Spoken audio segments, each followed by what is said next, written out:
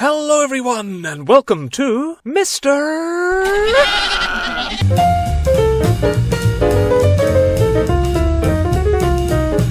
This is Europe and Western Asia, and here is Cyprus. Now, let's take a look, shall we? Cyprus has been inhabited for a very long time, back when it still had pygmy elephants and hippos waddling about. This here is the earliest spot of human civilization in Cyprus, Khirokitia, where the people, who back then were quite diminutive, lived like hobbits in houses like this, and farmed, hunted deer, and herded pigs and goats. By the Bronze Age, we find Cyprus very much engaged in trade with the rest of the Mediterranean. One group of traders, the Mycenaean Greeks, so loved the island they began settling there. Indeed, in Homer's Iliad, the Cypriot prince and master archer Teucer fought alongside the Greeks in the Trojan War. From the 10th century BC, the Phoenicians founded a colony at Citium. Then, about a century later, the island was subjugated by the Assyrians. The Cypriot kings won their freedom in 631 BC, only to be conquered by Egypt 60 years later. After the Persians conquered Egypt, Cyprus passed to them, and though there had been centuries of foreign rule, the Cypriots remained loyal to Greece, joining the Ionian Greeks in their revolt against Persian Persian rule in 499 BC, which the Persians suppressed. Though mainland Greece managed to stave off Persian invasion, Cyprus remained under Persian control until 333 BC, when Alexander the Great put the Greeks back in charge, and the Cypriots sent help to Alexander in the tricky siege of Tyre. When Alexander died, his empire split in four, with the Egyptian corner ruled by the family of Ptolemy taking custody of Cyprus, ensuring Greek rule for nearly three centuries. Now, one of the major schools of Western philosophical thought, Stoicism, was formulated by the Cypriot Zeno of Citium, and this continued into Roman times, the Romans wresting control of the island in 58 BC. It was into Roman Cyprus that St. Paul, Barnabas, and Mark introduced Christianity. Barnabas was himself a Cypriot Jew. Now, many Jews did not convert and very much resented Roman rule, slaughtering garrisons and committing genocide in several regions during the Kitos War, while the bulk of Rome's forces were engaged against the Parthians in the east. Once the Jews took control of Cyprus, according to Dio Cassius, they slaughtered 240,000 Cypriot Greeks. A Roman army was sent to the island, and they quickly stamped out the rebellion and enacted laws forbidding Jews to live on the island. After the fall of Western Rome, Cyprus continued under the jurisdiction of the Greek-speaking Eastern Roman or Byzantine Empire, and there was peace, with the Church of Cyprus becoming independent of the Church of Antioch. By the 7th century, the Arabs were invading, and for 300 years, Cyprus was considered neutral ground, though periodic Arab invasions occurred, resulting in much death and destruction. This is all that remains of Salamis, which was never rebuilt after the Arabs destroyed it. The Byzantines finally stepped in to take control under Emperor Nikephoros Phokas. In 1184, the governor of Cyprus, Isaakios Komnenos, a very cruel man, declared the island independent from Byzantium. Now, in 1191, King Richard the Lionheart of England set out on the Third Crusade. His wife and sister had been shipwrecked on Cyprus, and Mr. Komnenos imprisoned them. Justly incensed, Richard conquered the island, keeping his promise not to put Komnenos in irons. No, he put him in chains of silver instead.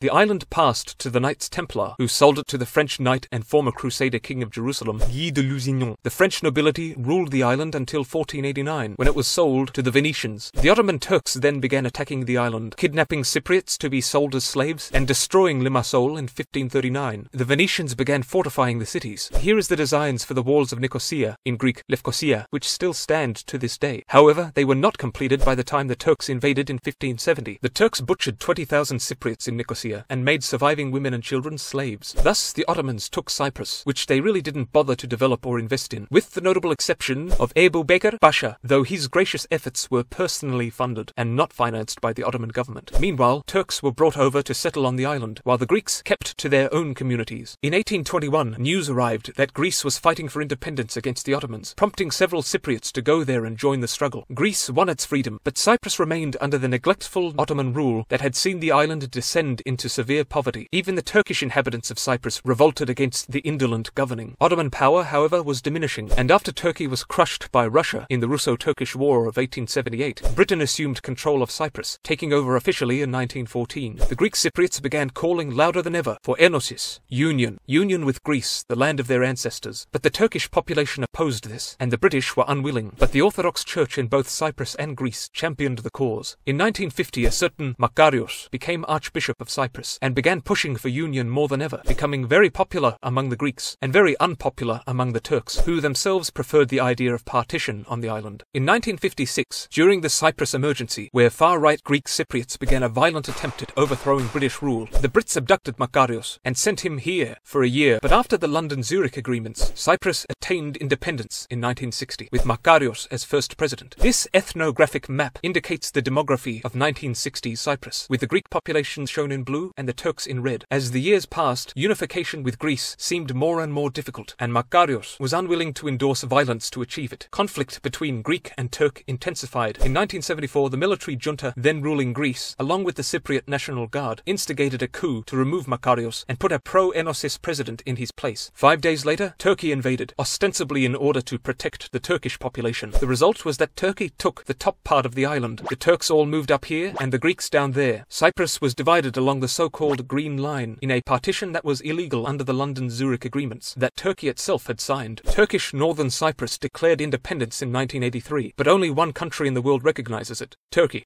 As far as the international community is concerned, it's all one Cyprus. The division has been an ongoing dispute ever since, but nevertheless, Cyprus has seen immense improvements, reaching a very high ranking in the Human Development Index, and receiving over 3 million tourists annually to enjoy the scenic beaches and good food, and mountains and castles, and ancient temples that look as though time itself had taken a bite out of them. But what does tomorrow have in store for Cyprus? Comment below, but for now, bye bye!